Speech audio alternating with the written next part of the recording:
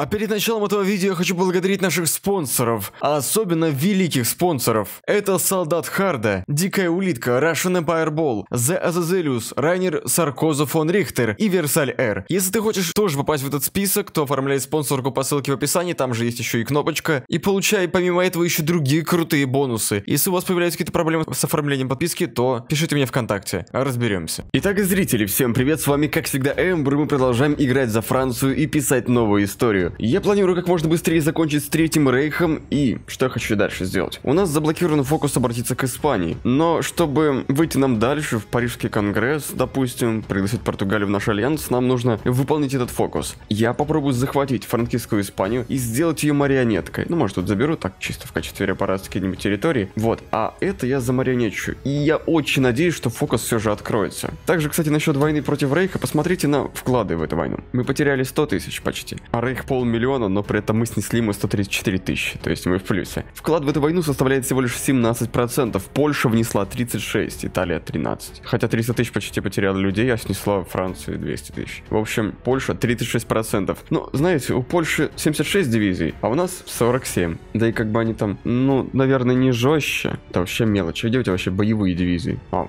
ты такими воюешь, что есть 9 касок, э, одна разведка? А, но в любом случае это работает. Потому что, конечно же, Рейх сейчас гнобят со всех сторон. Единственное то, что вот здесь вот пробиться не получается из-за гор, но по всем остальным фронтам у нас движение имеется. Атакуем. Давай, нужно уже пересечь Рейн. И когда мы это сделаем, то дальше будет намного проще, потому что мы просто стали вот так вот по Рейну. Река дает очень большую защиту. Так, давайте еще танки сюда вот подключим. И значит мы пробиваемся здесь и тут еще. О, господи. Стоим. Пробиваемся. Еще. Пробиваемся.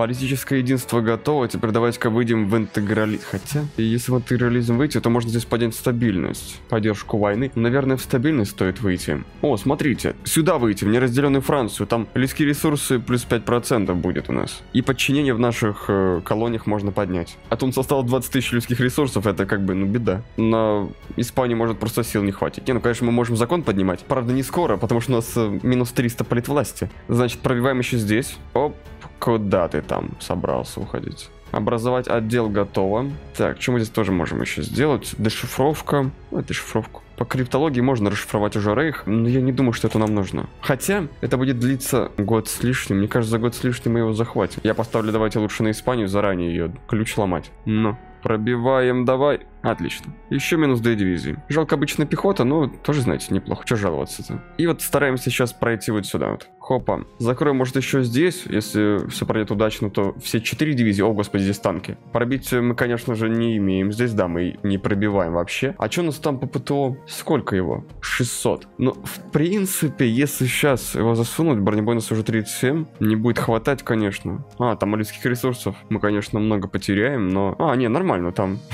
всего лишь пары штучек не хватает ПТО. Не знаю, получится ли его пробивать. Сейчас ПТО подъедет в дивизии. Ну так, ты что, уехал? А, вон, здесь уехал. Ну, давайте попробуем. Не, походу не пробиваем. А, броня у него 38. А-ха-ха-ха. Броня у него 38, а пробития у нас 37. Единички не хватает. Офигеть. Это может быть тогда стоит ПТОшку засунуть в наши танки. Бронебойность будет 43. Да, мне кажется, нужно в танке. Хотя у них тут все остальное такое ужасное, что... Ну, главное пробить, наверное, будет лучше. Да, давайте я в танки сейчас засуну. Единственное, что где наши танки?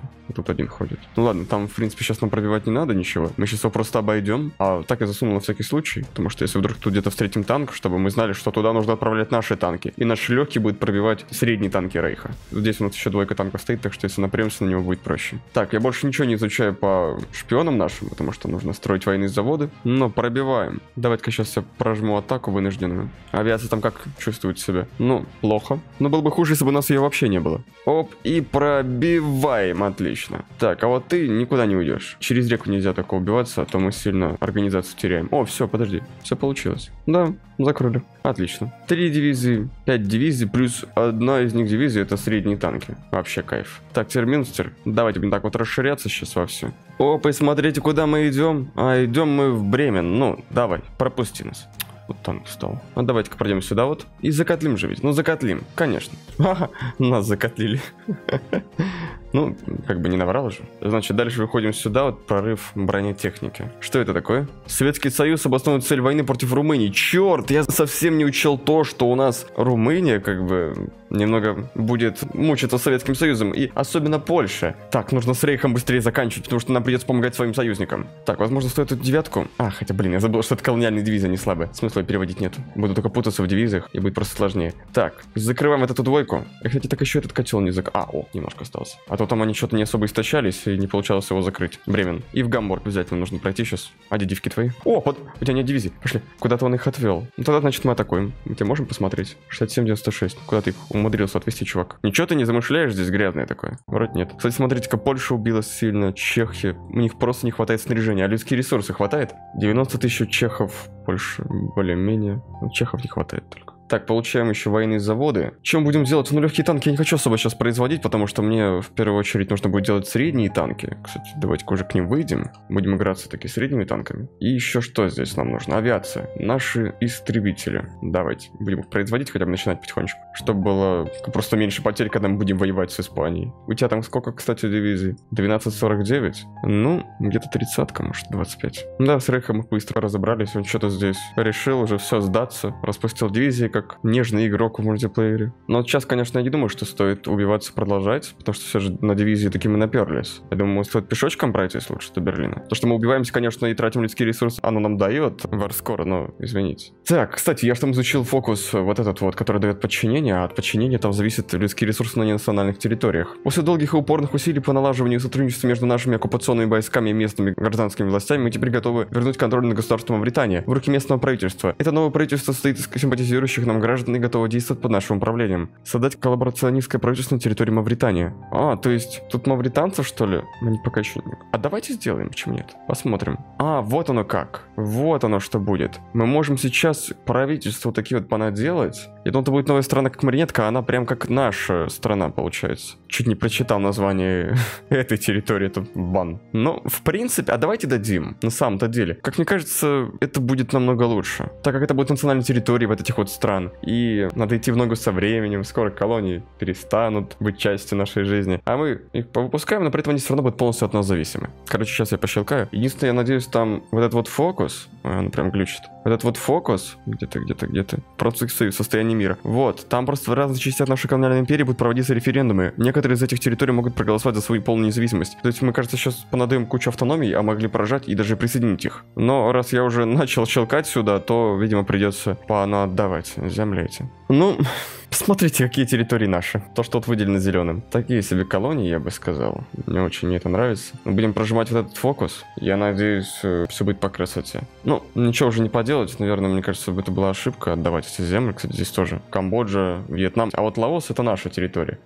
А он не выделился. Ладно, дальше что мы там берем? Инвестировать в Западную Африку. Гражданский Алжир. Прокачивать что ли их будем? Но мне кажется, это нам особо не нужно. Мне кажется, лучше поднять пока стабильность. О, фух. Бессарабия, Буковина теперь ушла Советскому Союзу. Слава богу, война не началась. А то еще не хватало Советским Союзом воевать еще сейчас. А, кстати, еще очень большой плюс, что мы получили из освобожденных этих стран, это то, что нам теперь не придется здесь содержать гарнизоны. Потому что все эти гарнизоны, гражданский надзор, он забирает 50% людских ресурсов. Составить нет гарнизона, то будет вообще, мы нисколько не будем отдавать, но там проблемка будет с сопротивлением. Вот. А сейчас все, еще все прекрасно. Мне кажется, в дальнейшем оно будет просить нас освободить и эти земли тоже. Посмотрим, короче, просто. Или это было завязано на фокусе. Ну, в общем, не буду пока ничего говорить, потому что сам не знаю, но сам факт того, что мы сейчас получили, не, они у нас вроде были. Короче, мы должны как-то их получить. Как-никак, потому что ну там же все-таки с гарнизона людские ресурсы вернутся нам. Опа, Советский Союз объявляет войну, я уже офигел просто, а этого на Финляндию напал. Так, только давай ты не вступай в наш альянс, окей, спасибо. Так, значит, и до Берлина доходим. А, ну еще, конечно, можно делать э, дивизы, используя людские ресурсы наших колоний. Через вот эту интересную штучку. Чем я, скорее всего, и буду заниматься, потому что скоро у нас людские ресурсы закончатся в любом случае. А повышать закон на призыве я не особо-то и хочу. Давайте сюда вот пройдем, попробуем их закотлить здесь.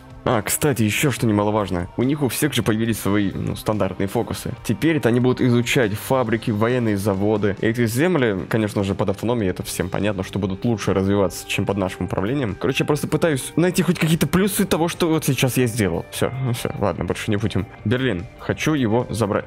не дают. Ладно, ладно. Тут я котел провернул, там небольшой был, но лишним не будет. Попробуем сейчас пройти, может быть, сюда. Если мы двойку через рейку пробьем, а мы ее не пробьем, это может пытаться вот так вот сделать. Хорватская Бановина. Оу, а это что значит? Так, это получается то, что сейчас хорваты стали стороной, но все равно зависимо от Югославии. Так, а Рейх так неплохо держится. Слушай, а если мы пройдем сейчас вот так? Ха, все, мы теперь соединились. Французская метрополия, это ячейки для строительства. Можно поднять инфраструктуру, но я хочу выйти сюда и потом в реформу армии. Так, э, давайте, подводите сюда свои войска. О, а, а, подводите. Итальянцы уходят с наших территорий на территорию Чехии. Эй, я, чтобы сюда поляков. Но они, поляки тоже поставили свои дивизии. Так, 7 дивизий хочет Румыния нам отправить. Ну, не, спасибо, не надо. Ну, типа, когда мы вышли на границу, то есть возможность перекинуть отсюда ее дивизии вот сюда вот. Но нет, спасибо. Мы сейчас попробуем так. Венгрия вступает в ось. Ау, Венгрия. Ха, ну что ж, как-то э, удачи, что ли, тебе. Хотя единственное, что вот здесь не круто, это то, что здесь нету у нас гарнизона. Где фронт? Сейчас перекроют просто в Кошице у нас связь с Румынией. Ребят, разбирайтесь. Так, он еще пройдем сюда вот. Хопа. И вот так. Чем мы, наверное, не пробьем все-таки, да? Наверное, не пробьем, ладно. Давайте я буду давить это вот сюда вот. И закроем этот танк. Отлично, минус танк. Еще военные заводы получаем. Ну, давайте-ка вот сюда вот поставим. Что-то у нас не хватает. Всего, в принципе, в достатке. Да. Но легкий танк, как я уже говорил, я сейчас не буду ими увлекаться, потому что все равно буду делать средние. Уже там у нас изучаются. Легкими, конечно, много грязи ты не сделаешь. Оп, здесь еще сейчас закрываем. И давайте-ка вот это дело. Три дивизии. Оф, вообще класс. Ну и, конечно же, вот это тоже котел, который нам нужно закрыть. Так, смотрите-ка. Сюда вот в Австрию пробралась Чехословакия. И это тоже котел. Хм. Давайте я поставлю сюда вот автоплан. И наш колониальный дивизия будет делать здесь грязь. Чупавр скоро у нас там 25%. Ясно. Это, конечно, очень слабенько. Очень слабенько. Ну ладно. Шифр мы Испании уже расшифровали. Значит, когда я уже изучу этот танк 41 -го года, я начну производить средние танки. Но пока мне нужно что сделать? Прокачать, пожалуй, авиацию. Нужны истребители. Качать это мы самые первые используем. О, Италия выставку сделала, что ли? Ничего себе. Что делать ничего, что? Атакуй лучше просто. Ну, раз э, дивизии с этого фронта, они растянулись по этому новому фронту, который образовала Италия у нас. Мы, может быть, попробуем здесь пробить? Да, ужас, не получается. Хотя, может, тут и получится. Ну-ка, давайте танк подведем. Давай. И в Берлин. Нет, там все же река не получается. Попробуем давайте хотя бы так пройтись. У нас на вот этом котле много дивизий было занято. Сейчас мы его закрываем, и они идут на фронт, на основной. Все, погнали. Ставка на автотранспорт, теперь давайте бронетранспорт. И вот здесь вот я получаю бонус к исследованию легких или средних танков. Но нас конкретно интересует средние. Все, Рейх капитулирует. Ну, у нас, конечно, очков много, но что мне забирать? В идеале я бы хотел соединиться по земле с нашими союзниками. Конечно, это можно сделать через Италию вот так. Но мне кажется, они это сами сделают. А пока я бы не прочь выйти от сюда вот к Северному морю. Потому что если делать выездку в Великобританию, то проще вот так, насколько мы знаем. Да и тем более здесь есть ресурсы, что немаловажно. Давайте хоп, потом вот так. Можно забрать Гессен. Ну, в принципе, смотрите, Вюртемберг, Франкония. Насчет марионетки, я Рейх марионеткой делать не буду, потому что там... Хотя, просто дело в том, что на него могут напасть. То есть у некоторых стран есть, например, у США есть фокус на нападение на Третий Рейх. И даже если это будет маленькая провинция, наша зависимая, но будет называться Третий Рейх, США нападет на него, даже если это будут не фашисты. Потому что разработчикам, ну, видимо, лень просто условия поставить, что если вот Третий Рейх зависим от кого-то, то как бы зачем на него нападать? Ладно, берем вот это еще. А это я, пожалуй, оставлю уже Италии. Так? Или может, чтобы было красивее, как-то вот так вот сюда вот южнее пройти. Как-то вот так, да? А это уже ей оставить. А то будет этот огрызок не очень здесь смотреться. Да, давайте так и сделаем. Вот только Венгрию никто не трогает. Хм, никому она не нужна. Ну, отдадим, наверное, вот это Румынии, можно вот это вот Чехии. Посмотрим. Пусть они пока там сами решают. А меня интересуют вот эти земли. Польша, да ты заколебала. Дайте мне хоть что-нибудь с севера забрать. Так. А это можно? Мне... Ой, спасибо. Благодарю. Так, ну я бы Венгрию, наверное, марионетки бы сделал. Просто вот это я не понятно, кто что забрал. Так, ладно, марионетка. А что это такое? Это серьезно мы забрали? Что? Я что, случайно щелкнул сюда или что, я не понимаю. Так, ладно. Или это нам отдали. Ишка так может. Надо пересмотреть будет запись, скорее всего, случайно просто щелкнул. Так, оккупированная территория Венгрия, вернуть территорию, да, забирает. Ну, то есть вот так это решается просто. Опа. Бельгия в Соединенное Королевство вступила. Черт, если на них нападать, то это как бы воевать нужно будет против Великобритании. Ну, а Польша, это, конечно, красавица, господи. Ну, ты поназбирала земель. Чувствую, сейчас столько тебя там дивизий будет, и Советский Союз псыкует просто напасть. А это чья марионетка? Польша. Нет, серьезно, Польша здесь огромную грязь сделала. Я от нее такого не ожидал. Может, значит, просто взять и отвлекать Третий Рейх. Пока Польша занимается своей работой. Ну ничего, а это наша марионетка пусть будет. Черт, я вот сейчас готовлюсь заниматься Испанией. Офигел от того, что у нее тут 7 на 2 дивизии, а у нас обычные совсем для обороны дивки. И Советский Союз нападает в это время на Польшу. Резко. Она даже не смогла здесь нормально укрепиться. Просто была не готова к этому. Что в итоге имеем? Войну с Советским Союзом. Ладно, Испания ее 7 на 2 дивизии походу подождут. Идем тогда вот сюда. Стремясь приблизить переломный момент в войне с Францией, Германия оказывает как никогда мощное влияние на страны Бенилюкса, которые, заручившись заручившись французской и британской поддержкой, отказались соблюдать германские требования. У нас есть основания полагать, что если государство Германской империи не сможет добиться желаемого дипломатически, она возьмет это силой. Германская империя. Ну, бери это силой. Ну, только спроси разрешение у Польши, окей? Короче, Советский Союз в 40 году, хоть и имеет чистки среди офицеров, все равно является очень сильной страной. А у нас ноль людских ресурсов. Класс, просто супер. Подожди, ты что, воюешь еще с союзниками? А, что-то, господи, это французская Индия. Можно наша территория. Это, кстати, отдельная страна, да. С населением 300 тысяч человек. Ну ничего так. Тут немного пробили нас. Короче, как сейчас поступлим? Вот так вот поставлю наши войска. Вот сюда вот. Давайте. Не, потому что это не дело. Серьезно. У меня были планы на Испанию, были планы на Великобританию. Но это Польша втягивает нас в войну против Советского Союза. Давайте посмотрим по войскам, там что как. У него где-то 250-200. Там много. Ставка на бронетранспорт готова. Теперь что можем здесь сделать? Пора брать интегрализм, потому что скоро политпласт уже в плюс выйдет. Пора менять законы. Но в первую очередь, конечно, поменяю закон о призыве и поставлю расширенный. Так, ну вроде пока мы здесь укрепились. Так, вы посмотрите на это. Греция вступает в Коминтерн. Из-за того, что тут напали на Грецию, Италия напала. Вот блин. Ну, надеюсь, вы здесь справитесь, потому что, м, наверное, нет. Сейчас с Албании вытолкнут. Они это уже сейчас сделают, потому что здесь морская база. Да, вытолкнут. Думаю, может, наши корабли стоит отправить как-нибудь сюда вот плавать, но все равно бессмысленно, потому что мы здесь контролируем этот пролив. Если Советский Союз с кем-то здесь торгует, то мы будем это перехватывать вот здесь. Поэтому торговать по морю ему сейчас будет сложно. Но, как мы знаем, ресурсов у него вполне хватает. Поэтому это не особо для него вообще будет критично как-то. Так, что мне там стоит вообще брать дальше? Разведка, это есть. А Норту нужно прокачивать. У нас дивизия вообще не для наступления. Совсем. Поэтому их придется переделать всем на 2 или начать делать танки. Второй вариант, конечно, сложнее, но первый вариант требует больше людских ресурсов. Так что непонятно, что выбирать. Я все же сейчас решил выйти в французскую метрополию, чтобы выйти потом к ячейке, а потом можно... Ячейки, а потом можно выйти сюда вот по колониальной промышленности. Получает две фабрики каждое колониальное государство, в которое ранее вкладывались инвестиции. То есть, видите, мы еще будем более развивать наше колониальное государство. Тут метрополия.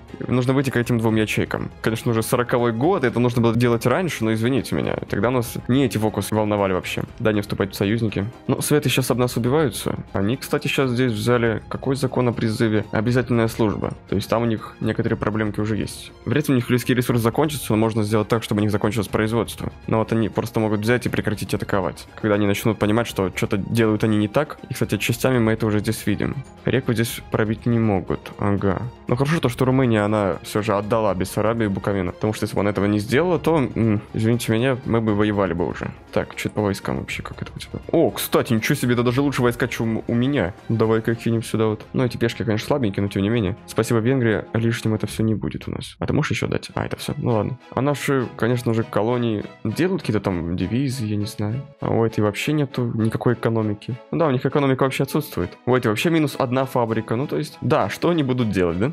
Ничего они не будут делать. А Китай здесь уже продавливает Япония. Так, взяли это исследование, теперь давайте сюда. А далее, в принципе, можно выйти к танку. Потом беру фокус на исследование танка, и мы изучаем уже этот танк. Ну чё, да, давайте будем пробовать делать танки, они не так много людских ресурсов требуют, а по качеству будет лучше, чем 7 на 2. Потому что промки у нас вполне хватает, и почему бы их не поделать? Можно его сейчас заранее поставить делать, потом просто когда изучим следующий, заменим этот. Ну, поехали, давайте. А легкие танки пусть потихонечку производятся, ну так, чтобы оно просто было, ведь у нас дивизии легких танков есть. А не хватает у нас вольфрама. Что, берем у Португалии и делаем пока их. На авиацию я особо не рассчитываю сейчас, потому что как бы летчики это людские ресурсы, а у нас не бесконечно. Я даже отменил сейчас наши здесь планы, хоть авиация наша здесь играла большую роль, оно все зеленое здесь было, но они сильно сбивали наши самолеты, и поэтому, короче, было не круто. Так, Италия нападает на Югославию. Югославия вступает в Коминтерн. Хвала всем богам, то что Югославия не вступила в союзники, потому что ее гарантила Великобритания. Я думал то, что все, сейчас она вступит в союзники, и, и что я буду делать? Эти британцы перекинули бы сюда вот свои войска в Бельгию, и просто бы жужу, и все, я бы минуснулся. Кстати, вот флот Германской империи еще здесь есть, так что он остался у нее. Но с другой стороны, если мы сможем продавить Югославию, то это выход Греции, а раньше она была как бы здесь, захватила Албанию, и все, до нее не добраться, только высадки. А сейчас, если здесь пробиться, то будет окей. Только вот пробиться я помогать не буду. Мое дело крыть Советского Союза. А вот вы занимайтесь Югославией, пожалуйста. Давайте. Так, ну, дешифровку нужно проводить Советского Союза. Потом, когда будем планировать атаку, я прожму его просто. Может, это расшифрованный шифр. А мы здесь как-то прокатлить... Ну, да, прокатлить. Ага, сейчас. Удачи. По потерям давайте посмотрим. Мы потеряли 26 тысяч. Снесли Советскому Союзу 69. Вау, неплохая разница. Советский Союз потерял уже миллион. Так, французская метрополия готова, теперь промышленная экспансия. Так, Аквитания Бургундия получит две фабрики. О, лишним не будет. Ну что, справляйтесь? О, еще войска. Спасибо, идем. Ого, тут смотрите, на наступление мужик стоит 37 всего лишь полит власти. Как бы это заманчиво не было, но мне придется взять сейчас расширенный призыв, а там 150 надо. Офигеть. 37. Гамелен. Блин, чувак. Ну во-первых, не хочу тратить полит во-вторых, мы сейчас атаковать никуда не можем. Просто стоим сейчас на обороне. Пробили, кстати, здесь уже Румынию, потому что Чатина все же отвела. Конкурс на венгерские бомбардировщики. Венгерский ВВС проводит испытания новых средних бомбардировщиков. По данным нашего военно-воздушного атташе, наша новейшая модель должна одержать верх. Несомненно, а лицензированное производство? А, ну, конечно. Почему нет? Но кое-как здесь пробиваются, конечно, при помощи Италии. Я вот удивился, то, что у Чехии всего лишь 8 дивизий. Вообще жесть. А у Польши уже 87. И главное, чтобы хватало людских ресурсов. Она уже расширенный взяла. Промка-то у нее офигенная. Даже, наверное, лучше, чем у нас. Хотя нет, куда там? 43-36, а у нас 82-18. Я не учел то, что мы Германию захватили. Так, а вот тут пробивают. Главное, чтобы нас не закатили. А то это будет беда еще-то. Так, смотрите, в чем прикол. У меня сейчас очень быстро растет здесь сопротивление у немцев. Так, чтобы не случилось проблемка... О, господи. Там проблемки большие уже есть. Я поставил даже военное положение. Не работает нифига, потому что людских ресурсов у нас не хватает. Нужно 200 тысяч, чтобы покрыть эти гарнизоны, представьте себе. Откуда мы 200 тысяч возьмем просто? И как бы нужно сейчас здесь поменять, наверное, шаблон, потому что этот давит на девятку. Сложно шаблона снизить потери при действиях сопротивления. Ау, ничего себе. А шаблон, подожди, вот этих машинок. Блин, сильно крутой. Думаю, короче, я шаблон сейчас поменяю на вот такой вот где-то конницы. Конечно, больше требует всего, но людских ресурсов требует меньше. Ты будешь там уменьшаться? Он все равно увеличивается, понимаете? Даже военное положение увеличивается. А если я сейчас поставлю вот это, то какой смысл, если все равно людских ресурсов нету? Короче, быстро копим сейчас власть. Ячейка, наверное, подождет. Сорян. Фокус уменьшает как бы прирост власти, поэтому сейчас... Так, готово. Я беру обязательную службу. Ну да. Плюс 2,5% нам ни черта не даст. А вот, вот это хорошо. Но скоро строительство, объем заводского, это очень больно. А, подожди, там 300 надо, ё-моё. Тогда берем пока вот это вот. Потом беру обязательно тогда. Все, коплю сейчас на обязательное. Фокус я не беру. После набора солдат и призыва ранее освобожденных от него трудящихся, многие компании сообщают, что испытывают нехватку работников. Она повлияла даже на оружейные предприятия, снизив их продуктивность. Эксперты-промышленники требуют от правительства найти новые источники человеческих ресурсов, и либо вернуть на заводы людей, уже призванных на военную службу, либо кем-то заменить рабочих, ушедших в армию. Была полная занятость, теперь нехватка рабочих. Это что у нас теперь? Объем заводского минус 10, производство верх минус 10, фактор военнообязан. Короче, просто капец. Не хватает теперь у нас рабочих. И там минусы будут, когда мы еще возьмем вот это вот. Короче, трэш. Я рассчитывал воевать против сейчас, вот, допустим, Великобритания. Для нее много людских ресурсов не требуется, чтобы ее победить. То, что выставку сделал, по-быстрому захватил, и все, на этом все закончилось. А вот против Советского Союза нужно нереально огромное количество людских ресурсов, серьезно. Это сейчас придется мне делать дивизии из наших марионеток пробовать. Ну а как еще? Вот, смотрите-ка, венгерские дивизии. 7 на 2, кстати. ПТОшка, все как надо, все по красоте. Давайте будем их делать. Вот, там хотя бы нужно тысяча людских ресурсов с нашей стороны, но извините. Как-нибудь давайте без этого. Так, у тебя там уже людских ресурсов не хватает. Но я тебе поставлю просто, может там ты закон повысишь себе. О призыве? Да.